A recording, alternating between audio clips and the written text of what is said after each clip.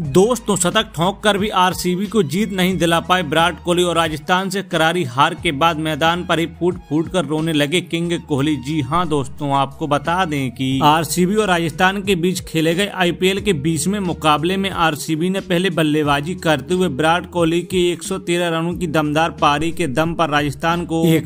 रनों का टारगेट दिया लेकिन जब राजस्थान के बल्लेबाज इस टारगेट को चेज करने मैदान आरोप उतरे तो जायसवाल बिना खाता खोले ही आउट हो गए वहाँ ऐसी मैच पूरी तरीके से आरसीबी के फेवर में था लेकिन दोस्तों इसके बाद जॉस बटा और संजू सैमसन ने 150 रनों की बेहतरीन पार्टनरशिप की और मुकाबले को राजस्थान की तरफ मोड़ दिया और इस तरह इस दोनों बल्लेबाजों की शानदार पारी के दम पर राजस्थान ने इस मुकाबले को छह विकेट से जीतकर आरसीबी को एक और हार थमा दी दोस्तों आज विराट कोहली ने जिस तरह की बल्लेबाजी की है वो जीत डिजर्व करते थे लेकिन एक बार फिर आरसीबी राजस्थान से बुरी तरीके से हार गई और इस हार के बाद विराट कोहली अपनी भावनाओं पर काबू नहीं रख पाए आए और मैदान पर ही फूट फूट कर रोने लगे वैसे दोस्तों आपको क्या लगता है आरसीबी प्लेऑफ में पहुंच पाएगी या नहीं हमें कमेंट में बताना ना भूलें